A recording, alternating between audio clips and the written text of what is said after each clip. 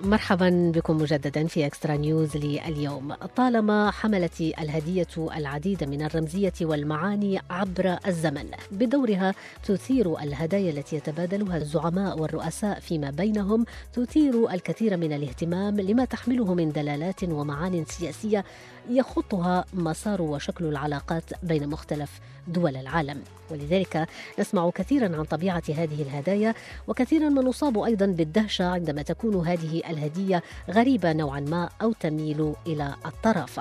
فمثلا قبل يومين تحدثت بعض وسائل الإعلام عن هدية فريدة من نوعها قدمها وزير خارجيه اليابان للرئيس تشيلي الجديد. وكانت عبارة عن لعبة من شخصيات الرسوم المتحركة بوكيمون.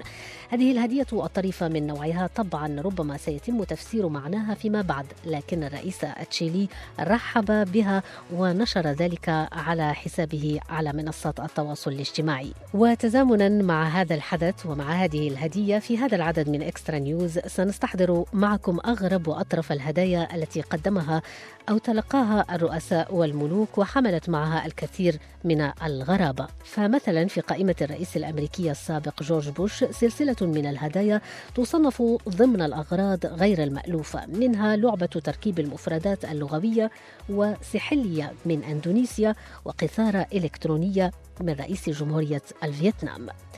الرئيس الفرنسي السابق فرانسوا أولوند خلال زيارة له لمالي تم إهداؤه جملا. وعندما تعذر عليه أخذه إلى قصر الإليزي اختار تركه لتشرف عليه أسرة مالية.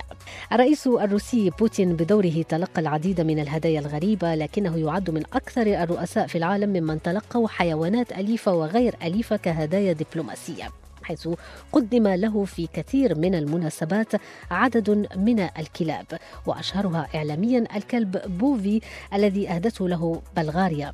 بالإضافة إلى نمر سيبيري وتعززت قائمة هداياه بغزالين من كازاخستان.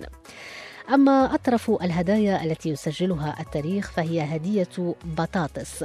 حبتا بطاطا انتقاهما وزير خارجية الولايات المتحدة الأمريكية السابق جون كيري لنظيره الروسي سيرجي لافروف صنعتا الحدث والكثير من الفضول والاهتمام. وبدأت تفاصيل اختيار هذه الهدية عندما أخبر لافروف وزير الخارجية الروسي نظيره الأمريكي بإعجابه بنوع من البطاطس. حينها لم يتردد جون كيري في الإسراع بإهدائه أكبر حبتي بطاطا تشتهر بها إحدى المناطق في الولايات المتحدة. وطبعا في الأعراف الدبلوماسية الهدية تحمل دلالات تاريخية وحضارية وثقافية لكل بلد حتى أنه يوجد فريق عمل على مستوى جميع وزارات الخارجية للدول مكلف بانتقاء الهدايا.